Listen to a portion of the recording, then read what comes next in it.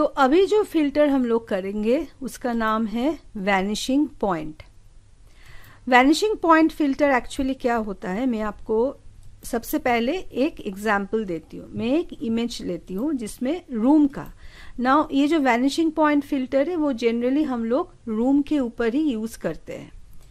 तो ये जो मेरा नया फ़ाइल है, इसमें मैं ये रूम को लेके जाती हूँ। अब ये रूम का जो साइज़ मतलब जो इमेज है, वो बहुत ही छोटा है।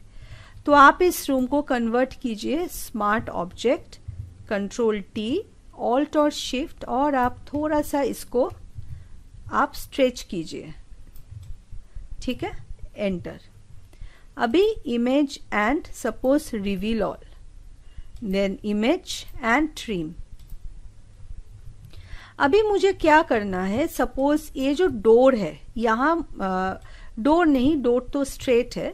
सपोज़ ये जो वॉल है, इस इस वॉल पे मुझे कुछ डालना है इमेजेस या कुछ भी। मतलब सपोज़ मुझे क्लाइंट को दिखाना है कि यहाँ आप कुछ डाल सकते हैं।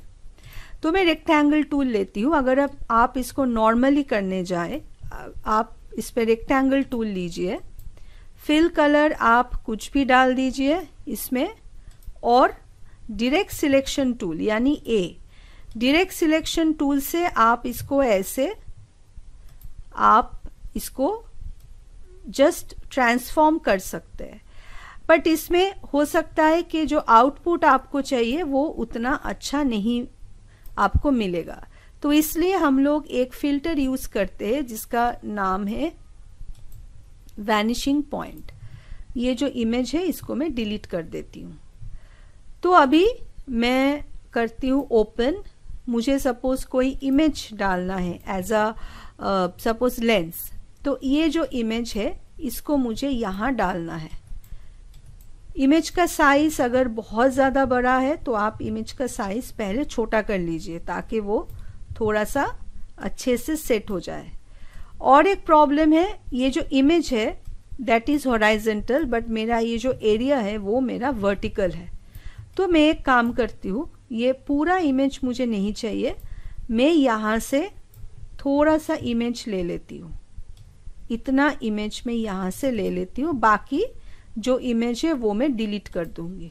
Select inverse and delete control D तो सपोज़ ये इमेज को मुझे यहाँ प्लेस करना है। तो आप क्या कीजिए कंट्रोल प्रेस कीजिए और ये जो इमेज का थंबनेल है, उसके ऊपर आप क्लिक कीजिए। और कंट्रोल सी तो मैंने क्या किया? मैंने कंट्रोल प्रेस करके ये जो इमेज थंबनेल है, इस पे मैंने क्लिक किया और कंट्रोल सी आप कहीं कुछ पेस्ट मत कीजिए, सिर्फ़ उसको कॉपी करके रखिए। इस तरह से अगर आप कॉपी करते हैं, इसको बोलते हैं copy to clipboard now control D और ये जो इमेज है, इसको आप ऑफ़ कर दीजिए। अभी ये जो रूम का लेयर है, उसको आप सिलेक्ट कीजिए। Filter okay. okay. इसको सिलेक्ट करने के लिए अच्छा ये स्मार्ट ऑब्जेक्ट हो गया है। तो ये जो फ़िल्टर है, वैनिशिंग पॉइंट, वो स्मार्ट ऑब्जेक्ट के ऊपर इट डजेंट वर्क ये काम नहीं करता है। तो आपको इसको रास्टराइज करना होगा।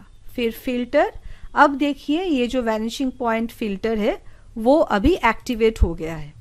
आप क्लिक कीजिए वैनिशिंग पॉइंट और आप यहाँ से ऐसे एक शेप डालिए, ये देखिए। मुझे अगर यहाँ से शेप करना है, ये देखिए, ऐसे। ऐसे मैंने एक शेप यहाँ ड्रॉ कर लिए।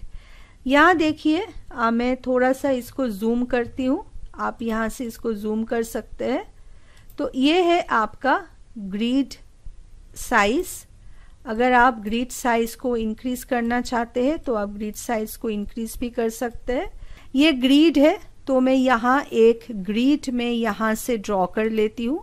सपोज़ ऐसा एक ग्रे ग्रीट में यहाँ ड्रॉ कर रही हूँ। ठीक है? आप इसको नीचे लेके आइए। रेड नहीं होना चाहिए लाइन लाइन हमेशा ब्लू ही रहना चाहिए। और आप कीजिए वी मतलब जो मैंने कॉपी किया था जो इमेज वो मैं अभी यहाँ पेस्ट कर दिए। अब देखिए इसको मैं ऐसे इसके अंदर ड्रैग करके लाऊँगी। ये देखिए, मैं इस इमेज को ऐसे ड्रैग करके यहाँ ला रही हूँ। तो देखिए, ये आपका पूरा ट्रांसफॉर्म हो गया। मतलब ये जो ग्रीड है, उसके हिसाब से ये सेट हो गया। अभी ये जो ट्रांसफॉर्म का ऑप्शन है, उस पर आप इसको छोटा भी कर सकते हैं इमेज को। तो यहाँ से आप देखिए, अगर कोई टूल है, या ये है आपका ट्रांसफॉर्म टूल तो आप ट्रांसफॉर्म से आप इमेज को छोटा भी कर सकते हैं। या आप उसको रोटेट भी कर सकते हैं। मतलब जैसे आपको चाहिए, आप इमेज को सब कुछ यहाँ कर सकते हैं। तो ऐसे मैं इमेज को सिलेक्ट किए और इसको ट्रांसफॉर्म करके मैं इस इमेज को छोटा कर दिए। तो इससे क्या है? इससे आप क्लाइंट को दिखा सकते हैं कि, ओके, आप अगर यहाँ कोई इमेज डालोगे तो ये इमेज ऐसा दिखेगा। तो ये मेरा हो गया वैनिशिंग पॉइंट वैनिशिंग पॉइंट आप यहाँ भी यूज़ कर सकते हैं मतलब फ्लोरिंग पे भी आप वैनिशिंग पॉइंट यूज़ कर सकते हैं, ऐसे, ये देखिए।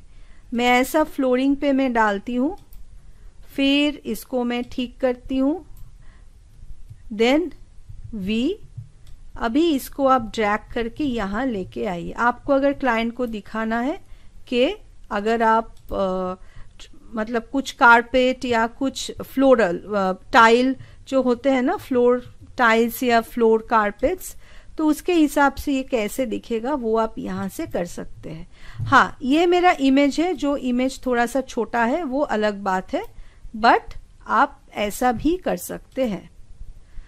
तो ये मेरा हो गया फ़िल्टर जिसका नाम है वैनिशिंग पॉइंट हमेशा इमेज में अगर कोई एरर आ रहा है, जैसे मेरा एरर अभी आ रहा था, एक बार आप चेक कीजिए। सब कुछ डिलीट करने से पहले एक बार आप चेक कर लीजिए कि एक्चुअल जो एरर आ रहा है, वो कहाँ से आ रहा है। तभी जाके आप जो हम लोग जिसको बोलते हैं कुछ प्रॉब्लम को सॉल्व करना, वो आप फिर कर सकते हैं।